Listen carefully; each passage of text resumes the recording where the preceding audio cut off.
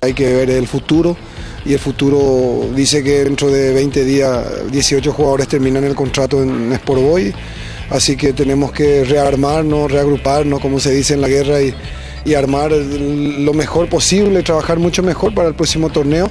No, no, no. Yo quiero jugar de día, lógicamente yo tengo que preparar el equipo para jugar en cualquier hora, no hay excusa.